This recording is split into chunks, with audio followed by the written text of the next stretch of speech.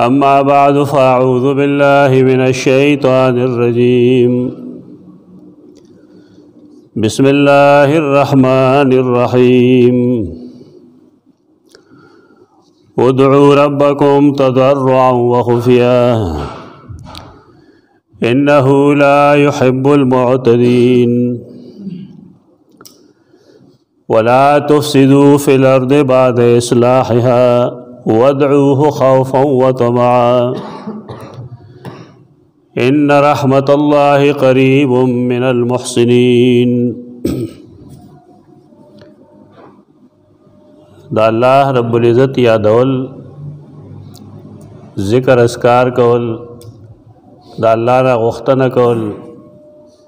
هغه ته خپل حاجتونه پیش کول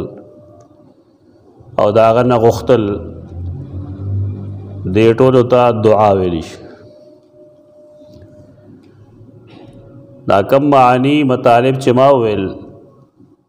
نو دعا دې ټولو ته شامل دي ذکر اسکار دعا کول رسول الله صلی الله علیه وسلم د دې ډېر فضایل خوبه بیان کړی دي او بعضې احادیثو کې دومره پورې ترغیب دی چې کوم انسان ذکر اذکار نه کوي نو دا هغه مثال کې البیت الخرب فرمایل دی چې دا د کندر کور په شان دی چې آبادی پکې نه کندري کندر کې زناور هم د شپې او دروازې موجود دي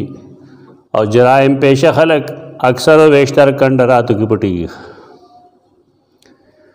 د شیاطین د هغې د پټېدو ځای یا د هغې د استوګنو ځای دا یې خلقو زړونه دي چې په یې کې د الله یاد نه وي چې پای کې د الله ذکر نه وي پای کې الله نه بلنه نه دا یو هم ستنه ده د دین اسلام کې بنیادی اراکینو کې کسړې سوچو کی نو مول دارنګ حج روژه او زکات دا دی عبادت لیکن هغه کې پسند سه حالت کې انسان د خپل رب ذکر کوي او دا غنه غوښتنه کوي موږ خو تقریبا ټول لغه شان دي او درېدو سره انسان د الله د کبریا دارنګ د هغه د تسبیح او سورۃ الفاتحه کې بشمیره دعاګانې کوي غوښتنې کوي دارنګ روزه او زکات هغه هم د ذکر بنیادی سيزونه دي ذکر یادول ته وي انسان چې کله حج کی انسان چې کله روزه ونیسي نو گویا کې د خپل رب حکم رایات کزان ته او داغه په اتوا کې دو دا عبادت وکړل ذکر یوازې د خلې نه هغه عبادت چې دا غي تعلق مال سره ای بدن سره ای یا دواړو سره ای دا ټول د ذکر الهی سبب او ذریعہ ده بیا د ذکر کې اقسام یې بعضې هغوی چې هغه سړی په خپل وجود باندې کوي جسم باندې کوي لکه مونځ نو مونځ خلق د خلقو مخکې هم کوي او تنهایې کې هم کوي روجا هر انسان نیسی مسلمان لیکن روجه دا او کنه دا دا غینا غی انسان خبری او الله ته خبری هغه یو پټ عمل ده زکات دا یو عبادت ته د ذکر یو بنیادی توګه دی حجم د ذکر بنیادی چیز دی لیکن حاجی سے هم ډیر خلک ویني او څوک چې زکات ورکوي نو چاله چې ورکوي کم از کم هغه خو ویني ګر دا عام عبادت دی لیکن یو هغه ذکر دی چې ته ذکر لسانی وای د جوی ذکر نو دا غیر لپاره شریعت څخه قواعد ضوابط یې خېږي دا نه چې چا څنګه خوخی نو هغه شانته ذکر دی کوي کمایت کریمه چې سورۃ الاعراف مالوست لري نو پای کې هم قران مجید دوه شرطونه لیکل دي یو تزرع عاجزی بل خفیه پټ عاجزی عاجزه سره مسته سره نه او پټ سری جهری نه دعا پټ کول د شریعت ضابطه دا ده چې دا به پټ کول شي او شریعت په دې کې سبای سوزونه موږ ته خود لري دا سه ذکر او دا سه دعا چې دا غي جواب مقصد دی یا دا غي نه خلق خبرول مقصد دی نو پای کې جهري کم کې چې خلق خبرول نه مقصد نه کې جهر جهر نه پای کې ستر وي دا فقهي طریقه ده امام سرخسی مبسوط کې او دارنګ نور فقها د احناف غیلی کی چې ذکر اسکار او دعاګانې داغه دک دو بنیادی قسمونه دي یو کې خلق خبرول مقصودی لکه اذان کې خلق خبرول مقصود دي دا ذکر دی ځکه د الله رب العزت د لوی اقرار دی پکې د رسول الله صلی الله علیه وسلم او دارنګ د الله د یووالي شهادت ته پکې مونږ ته دراتللو داغه دعوت ته پکې بلنه ده پکې د فلاح د کامیابی ته د راتللو دعوت ته پکې نو دیو جنا په دې جهر ضروری دی بانک کارا ویل ضروری دی بیا دویم سیز چې دا غي ښکارا کول ضروری دی هغه اقامت ته اقامت کولې دی د پارشي چې جمعات کې کم کسانی چې هغه خبر شي چې مونږ ادرت اغي صفونه برابر کی خلق خبرول دیتا فقها اعلان وای اعلان یا اعلام خلق خبرول دا دې ذکر لیکن د دې مقصد شریعت کې دا دی چې نور خلق ته پته ولګيږي چې دا کار شروع شو بیا غي عام دعاګانو کې مويخ عام او اسکارو کې موږ یې غي تقسیم کړل عام اعلان د یو حاجی او معتمر د پاره چې کله د احرام وتړیو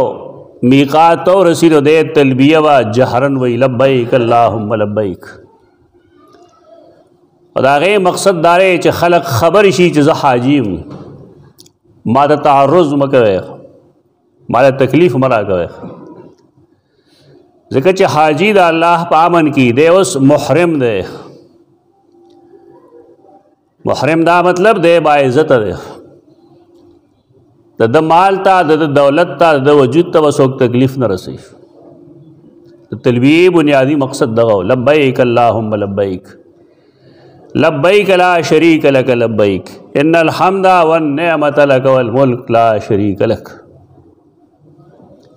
دغه تلبیه وایي دا تلبیه جهرن دا مسنون ده په دې جهر کول رسول الله صلی الله علیه وسلم نه ثابت دی او مقصد اعلان دی دی چې خلق ته پته لګیږي چې موږ مفسدین نه یو او هغه زمانه کې چې چا به احرام تړلو نو مشرکین او قزاقانو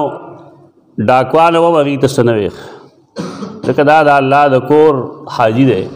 د تبامن حاصل یو بنی آدم چې کله پرنجي وکي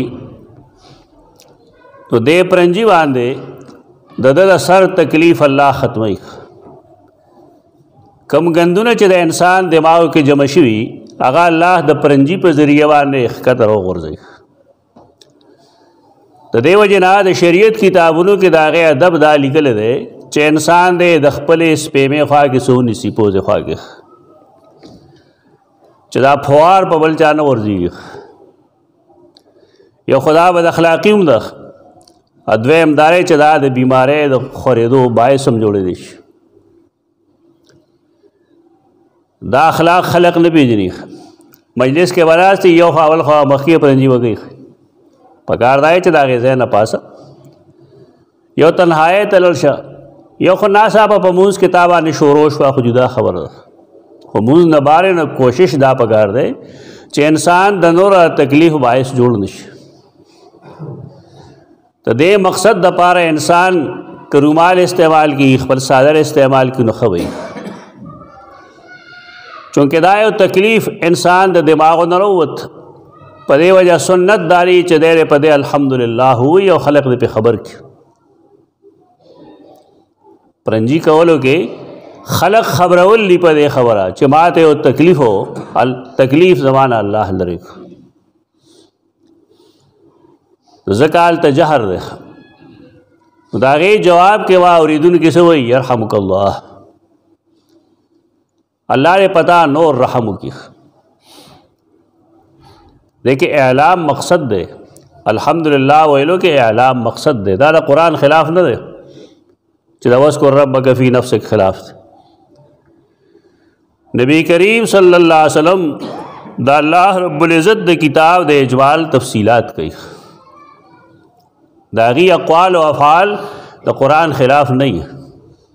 دا یو غلط سوچ دی چې چونکه دا حدیث یا دا حدیث دا ټوکړه د قران خلاف د سوال نه پیدا کیږي چې حدیث ته صحیح وي او د قران خلاف دا ممکن نه ده دا د خلکو د خپل ذهن یو او پج دی دوی یو بدعت پیدا کړي د خلکو په خپل ذهن کې او د بد قسمتۍ نه د دې ذهنیت موجدین دا روافض دي د رسول الله صلی الله علیه وسلم هغه حدیث چې پای کې دا فرمایلی دي چې انبیاء کرام علیهم السلام سمال نه پریدي او که پریدي بل فرض لا خیرات یې کې میراث نه چلی دا حدیث ده روافض ټول لمخې په دې حدیث اعتراض کړي چې دا د قران خلاف دی قران فرمایي چې لذکر مثل حظ الانثیین دا نه چې ټوپونه وایي او هر شی ورته د قران خلاف کاری دي ته وایي دا ډېر په خوانه شروع ده اوسنۍ سیز نه ابن قیم رحمه الله هدایت الخیارا کې دارنګ نور باندې کتابونو کې د خب بهترین جوابونه کړی دا خلاف نه دی دا تفصیل دی راغی دا تبیین دی وضاحت دی چې لذکر مثل حظ الانثیین دا عام قاعده ده عام خص منه النبی صلی الله علیه وسلم دا عام دی عوام ته شامل دی لیکن رسول الله صلی الله علیه وسلم ته نه شامل دا متواتر حدیث دی د دې وجنا که سیده فاطمه رضی الله عنها سیدنا عباس یا نور آی خلقو چې دا غي رسول الله صلی الله علیه وسلم سره رشتہ وا او د میراث غي حقدارو هغه چې کله رال خبره وکړه ابو بکر صدیق رضی الله عنه دغه حدیث بیان کو بیا چا مخالفت نه وکړه دا خو روافض د سید فاطمه خبره بیا بیا نیغه نیغه کوي ورنه یوازې هغوی خو نه وو امهات المؤمنین حقدار نه وې څه سیده عائشه یا نور یا نور یا نور دا حقدار نه وې د رسول الله صلی الله علیه وسلم د میراث خدا په هر چا کې او کمزور رګي چې کله په لاس ورشي خلق لاغه نو دا غې نه بیا غلطه فائدې اخلي زمونږ د خلقو کمزور رګ دارې چې دی هر څه پرشته باندې تړي پرانځي پدې نه تړي پرانځي چې د الله او داغه رسول حکم سره ته پدې تړل خبره وسمه روافض خو دې حدیث ډېر تنس کړی به دی چې ښا یو داسې خبرې وي نو د هغې نه به کور والا ډېر خبري او که نه د بار خلک به ډېر خبري یې طنز کړی یعنې دې حدیث نه ابوبکر صدیق ښه خبره او که نه سیده فاطمه ورته ښه خبر وه داسې قسمه مذاق وړاوي خلک د حدیثو دا خو ډېر شي سوزونه داسې چې داغه نه سیده فاطمه نه خبر او بل چې ابوبکر صدیق رضی الله تعالی عنہ د رسول الله صلی الله علیه وسلم خپلوان نه دی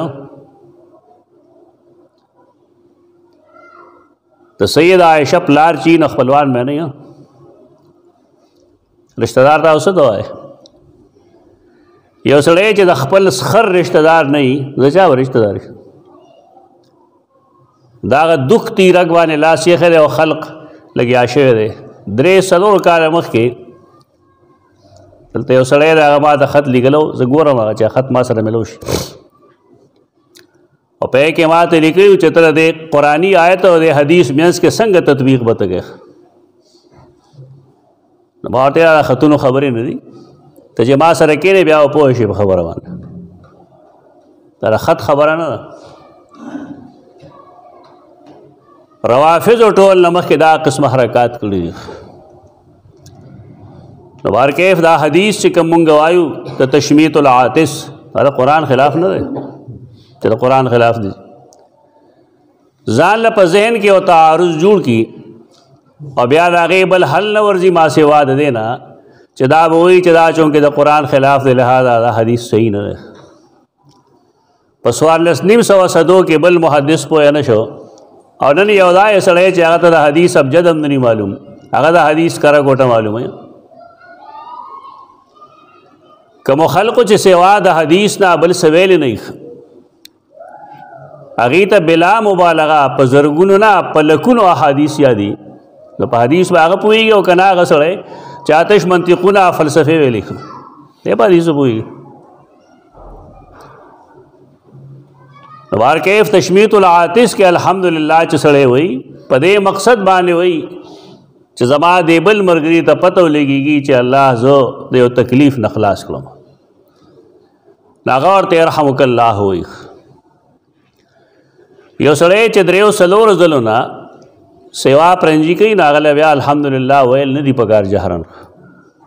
دغه دی مسکوم دی دته زکام شوی دی نو یو مجلس کې چې درې څلور ځله ورته چا یرحمک الله وي ټیک ده بیا په کار دی چې د خاموشه سره دی وي ته تکلیف باعث ته نه جوړیږي مسلمانان چې کله یو بل سره مخامخ کیږي نو په کار دی چې دی یو بل ته د سلامتیا اعلان وکړي یو بل ته السلام علیکم وایي دا سلام علیکم دا دو مفهوم لري یو دارا چې زما د طرف نه وته بالکل محفوظ ستا جان ستا مال ستا ابرو ستا عزت زدا غي احترام کوم زما د لاس نه زما د جبه نه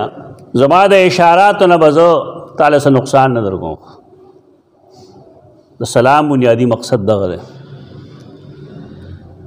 زمونږ خلک روانې کوي نو مخکې وسلام کوي او ورپسې بیا روانې کوي شعوري مسلمانی په ګار ده چې تا السلام علیکم ویل نو دا غي سړی په دا باندې یقین راغی چې دا زما مسلمان رور دی دی ماته څه نقصان نه راکوي او خو سلام وکړي او د هغې اعتماد د لاندې روانې کوي نو دی هم وایي زه جنتي یم یې به څه ویل شو د دې جواب کې وعلیکم السلام ویلی نو دا سلام دا هم دعا ده یو خدای پهلو دی بل پهلو دا دی چې پتا دی د الله د طرف نه سلامتی ای دا دعا ده نو بل ورته جواب کې وی وعلیکم السلام پتا دیم د الله طرف نه سلامتی ای دا دعا ده لیکن رسول الله صلی الله علیه وسلم د دې د ښکارا کول حکم کړی دی ښکارا به ویل شي جهر به پکول شي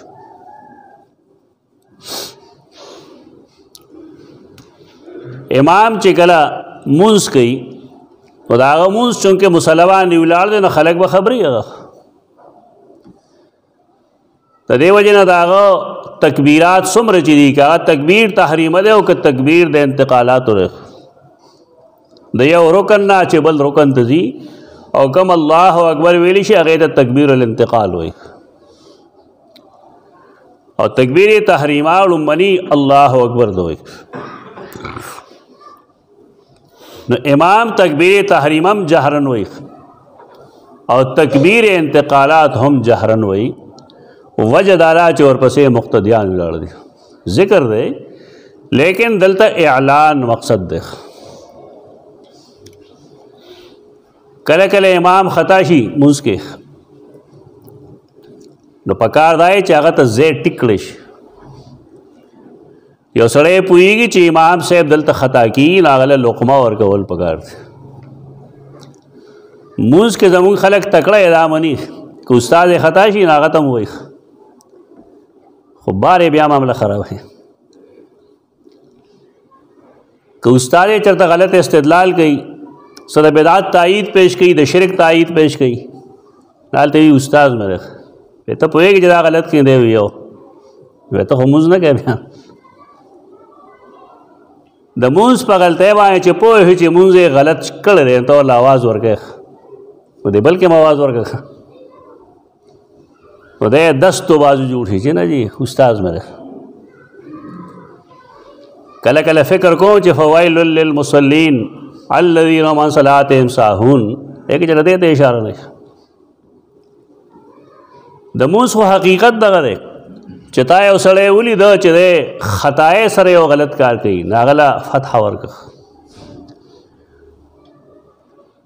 دا د نهی عن المنکر زمره کې راځي بیا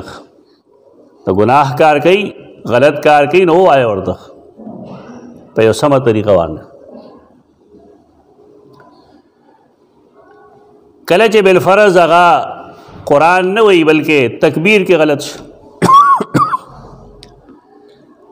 دویم رکعت ته پاسېدلو کېناست دریم رکعت ته پاسېدلو بیا کېناست بالفرض نو هغه ته سبحان الله ویل پکاري سبحان الله دا مطلب دی چې الله پاک دې د هر قسم خطا نه ته انسان یې ستاسو نه خطا وشو سبحان الله ویل دا ذکر دی دا دعا ده لیکن دلته کې جهر په دی باندې په دی وجه پکار ده دا ما تقریبا نه مقامات خودل څه کم بیش په دې کې تعلیم مقصد دی اعلام مقصد دی ذکر په دې ذکر کې جهر ضروری دی یو پاتې دی هغه دا چې استاد شاګرد ته قران خي حدیث ورته خي نو ښکارا به ورته خي کپټ به ورته خي ښکاره به ورته کوي ښکاره به وایي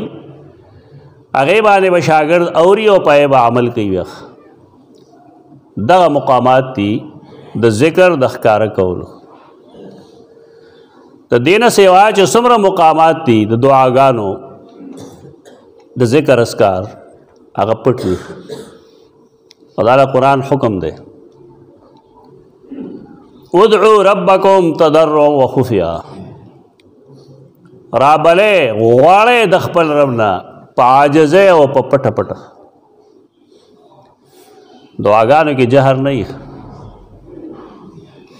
دا کوم چې جوړ کړي خلکو دا جایز نه دی رسول الله صلی الله علیه وسلم د استسقا په دعا کې جهر کوو نور دعاګانو کې د رسول الله صلی الله علیه وسلم جهر نشته د ټولو نه لوی اجتماع د مسلمانانو کم ضعیف ته خپل ملک ځای مخه چې پلان کې ده دروغ عربو کې د حج په موقع باندې د عرفات په میدان کې هلته کې رسول الله صلی الله علیه وسلم اجتماعي دعا نه کړې البته پاکستانی مسلمانان لړ شي بعضې بګې دا د شیخ القرآن هم وایي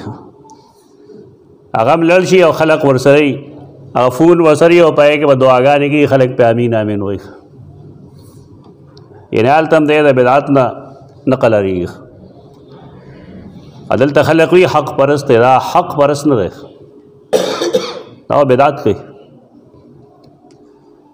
دعا چې کې دا کم موازه چې مونږ ویلې دي ازنه ویم دا امام ابو حنیفه رحمت الله تعالی علیه مبسوط لمنی جل کې لګلی دارنګه د منیت المصلی او شرح د تکبیری وای په کې دوه مقاماتو کې لګلی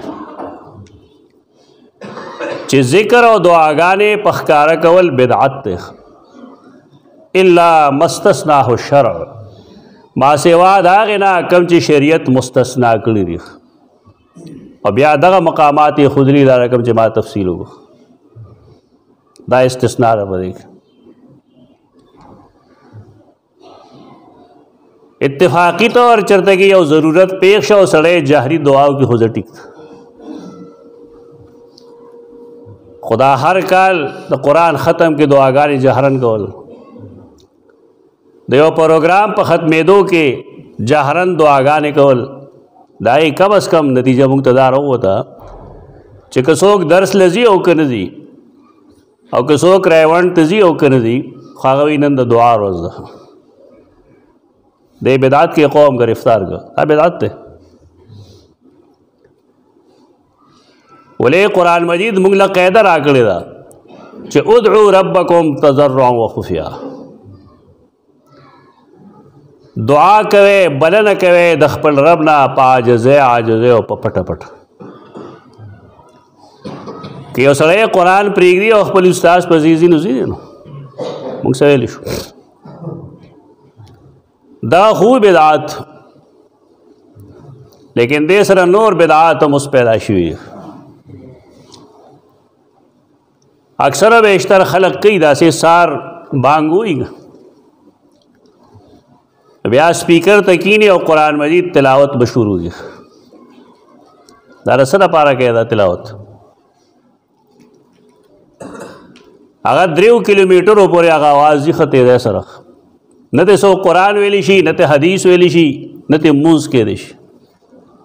د خیال لای چې ثواب ګټم ثواب ګټې او ګناه ګټې کله چې سپیکر نه او خلکو ذکر کو کنه کو قران یې وې کنه وې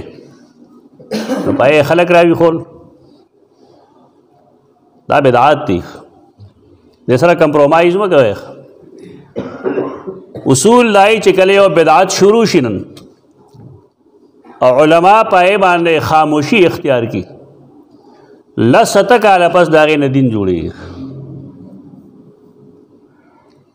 بے ضمیری علما ولنه د پکار پکار دای چې خپل ضمیر ښکاره کی عبادت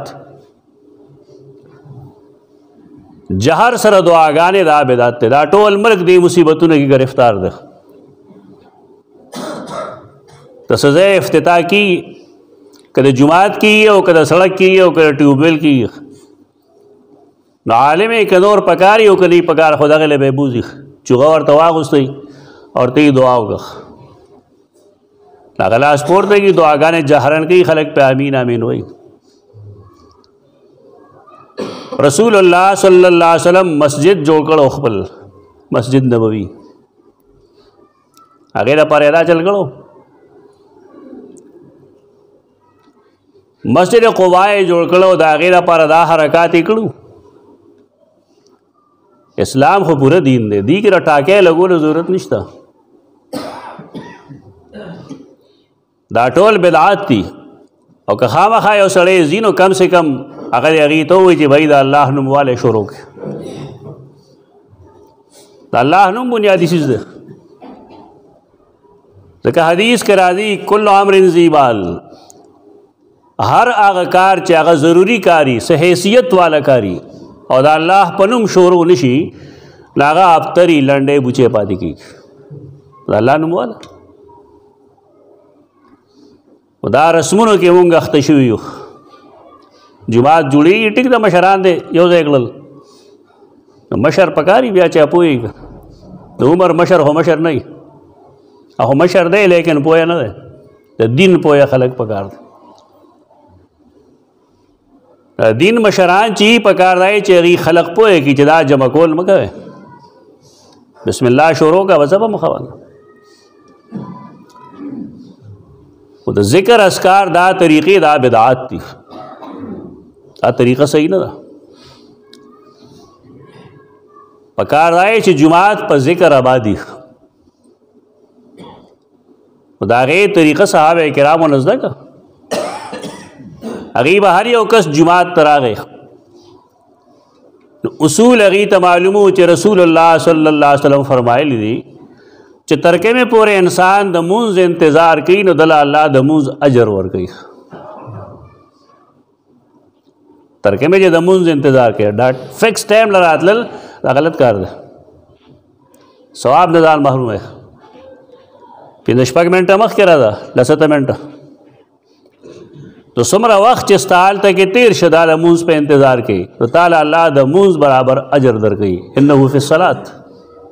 دی مونځ کړي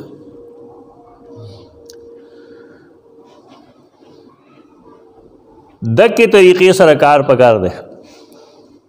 هغې چې برال نو یا به یې دوه رکاته مونځ وکړو یا به یې قرآن مجید لوستل شروع کړل یا به یې ذکر اسکار شروع کړو او یا بداو چې د نبی کریم صلی الله علیه وسلم د میدا وینا مطابق لیسکت خاموش بکیناست دغه طریقه د انتظار نه کوي دا د ذکر طریقې دی اسلام کې لیکن دا خو نه چې سړی د قرآن راوالي سپیکر طریقې نه او لګیا دي شي ټول صورت یاسین وي سلا فایده سره به دیک ځان لوي که خلق لوي ځان لوي نو قرآن د ټول نه بهترین ذکر دی او د قرآن حکم دی وذکر ربک فی نفسک خپل رب پړه کې یاد کړه دې چغو ته ضرورت نشته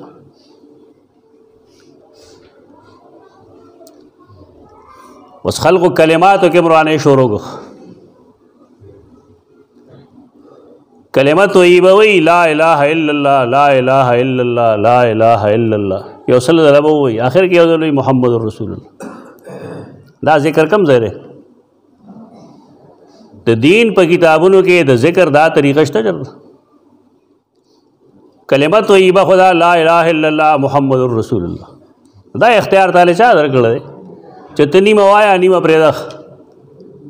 او دا نیمه لس ځلوي ر په شلم ځل باندې یا په نهم ځل باندې ور پسې یو ځل محمد رسول الله وای تا تو روغړم پته نه لګیږي د خلکو ته دا دین د الله څخه کاری چې کم ځای کې خوخه یا بدل لري کوي چې کم ځای خوخه اضافه وکړي اکثر ور درې په کلمه وایا سلورم اور پنځم اور شپږم اور دا کم ځای داسې زونه شپږ کلمات که چا د دین په کتابونو کې وخول موږ باغله نام ورغوخ د اسلام یو کلمه ده لا اله الا الله محمد رسول دا نور چې ته دا د اسلام کلمې نه دا اذکار دي نو دې له غوسه دا نوې نوې خلک چې دین نه واقف نه کنه ودی پارسه پیسې ګټي ته په دې هم پیسې ګټي چې لومبه کلمه پهلا کلمه طیبه او دوسرا کلمه او تیسرا کلمه دا تمجید او فلان او فلان دا دین کتابونو کې نشته یو کلمه د اسلام انی اعذکم بواحده زه تاسو یوې کلمې ترا بلم لا اله الا الله محمد رسول الله د نورو کلماتو ته د دین کتابونو کې کلمه نه وي دا ذکرونه دي څنګه چې نور اسکار دي دارنګ دا هم اسکار دي خو دې ته کلمه ویل دا د پاکستانیانو کار ده دلته پیغمبران پیدا کیږي خدایان پیدا کیږي مهدیان پیدا کیږي نو که کلمه کې تحریف وکړو دې د شان نه خدا لره نه ده دې هوګي داسې د دې خو د ختم یو یاسین دی بازار کې خرڅیږي لومبنه مبین چې ویل شي ولیکل شي نه پسې بیا لیکلی بسم الله الرحمن الرحیم الحمدلله رب العالمین الرحمن الرحیم اخره پورې نو بیا ورپسې بل مبین پورې نو بیا هغې پسې بیا بسم الله لیکلی دا تحریف نه نه داسې دی په قرآن مجید کې سورت یاسین کې سورت الفاتحه شته قرآن خو دې نوم نه دی چې ته یو ځای راخلې سورت بل ځای کې ټومبا ته دا مې قرآن وي دا قرآن نه دی ویلې دا بدعت کړی دی ناروا کړی ځان په دې پویول پکار دی چې قرآن د نظم او د معنی دواړو نوم دی نظم ترتیب ته وایي قران کې سورته یاسین چې ده هغه سورته یاسین ده کم چې تا بار روخ کو پهګه ترتیب بدل کو دا سورته یاسین نه ده پاتې شوی دا دا غلطي وکړه او دا غلطه پیران صاحبان کوي دا غي خي بے دین خلک دا غي چون کې عوام باندې هولډ وی نه غي دا سونه خي غي تا ظالم تباګه خلک هم تباګه صرف د 100 پیسو لپاره دا بدعات دي دا رسومات دي دنه ځان خپل بګار دي یو سړی لس منټه ذکر کوي خو هغه ذکر دیو کی کم چې قران او سنت خو دلی او هغه طریقه دیو کی کم چې محمد رسول الله صلی الله علیه وسلم کړ دا لس منټه ذکر دا ټول عمر د ذکر نه بهتر دی چې ثابت نه یا رسول الله سلام نه کړي ځان اسې مکړه په ځای ځان وکړه اسکار او دعاګانې پټې کوي ښکارا کول داغه شریعت هغه ته جایز نه وي عبد الله بن مسعود رضی الله تعالی عنہ مسند دارمی کې سنن دارمی کې او دارنګې شامی حدیث لیکل دی علامہ شامی ملګری لال کوفه ته حضرت عبد الله بن مسعود مسجد ده څه خلک یو لیدل چې هغه یو ګیره غونډه واچي او ذکر اسکار کوي دا بدعت پاکستان کې عام شوی اوس هغه پیرانو عام دیره واچي او د داغي ذکر وایي جمع کېږي حلقه ده اکل دی حدیث کې راځي چې رسول الله صلی الله علیه وسلم زمانه کې یو حلقه د ذکر او بل حلقه چې کوم دی دا علم وا ودا و ثابت کې په کتابونو کې چې هغه دا ذکر او دا کوم چې تاسو کوی او دا حلقه دا مطلب دی حدیث مطلب ځان مو بیان او دا نه چې غی ناس تو ها هو یې ګول اندر وګوي رسول الله صلی الله علیه وسلم د قران خلاف نه کوي څه خلق دغه شان ذکر یې کو دا کم چې نه پیران کوي عبد الله بن مسعود پسې ملګری راغی ویل څه خلق مې ولیدو سکار کوي خدا الله یاد کوي نو سویل شو هغه ویل چې هغه راشنه بیا ما ته وایا هغې چې رایل مازدیګر ټایم دی هغې ذکر شروع کا حلقه یې جوړه کړه دیره یو به ویل فلانکې شی دومره ځله ووایه و دیوبندیان هم ځان شرمولی دی ناس وی لا اله الا الله ووی ټول به ورپسې په چغه لګیا یې وی دا دین دی که دا سا دین دی که دا دین وي نو دې لپاره به د الله او د هغه د رسول حکم پکاري دا څوک د ځانه نشي کولی آیا الله ویلی دی دا هغه رسول ویلی صحابه کرام ویلی چې نه ویلی ته بدعت وایي دلته کې چې څومره علما دیوبند دي موږ ته یاد دي دعا بعد سنن بدی کولا اسخات درې بدی کولې سلوخته بدی کولې شوې بدی کولې دا ډول بدعتيان دي دا ډول په خوانه موږ پیژنو دا آتش نو اخلي د دیوبند دا یې خوا کې نه تیریږي زمونږ سره څومره بحثونه مناظرې هم دې دیوبندیانو کړي دي په هغې څیزونو باندې چې علما دیوبند هغې ته بدعات وایي تش په دیوبند نوم لیکلو باندې سړی نه دیوبندي کېږي څنګه چې تش په نوم ویلو مسلمان باندې سړی نه مسلمانېږي نو دارنګې د دې نه دغه فایده اخیستل صحیح نه دی غلط دی عبدالله بن مسعود چې راغی هغه سر لاس کې کال یې ټولې پې وویشتل اوې فرمایل یا امت محمد صلی الله علیه وسلم اے د رسول الله امته تاسو باندې څه چل شو د رسول الله صلی الله علیه وسلم کپړې چې کومو کې هغه سا ورکړې ده اخو لا زړې شوې نه دي وانیته لم تکسر او دا هغه غلوخي چې هغه استعمال کړي اخو لا مات شي نه دي ډېر زور نه داسې وکړه او مفتحي باب الضلالتن تاسو د گمراهۍ دروازه پرانه ده دا د گمراهۍ دروازه ده دارن چې وی دا حلقه دا پلانې ریډینګې نه عبد الله ابن مسعود دا خلک پکانو وشتو